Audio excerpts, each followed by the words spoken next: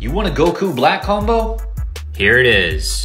This back bling, this pickaxe, this glider, this contrail, and this wrap. If you guys like this combo, here's a list of all the cosmetics.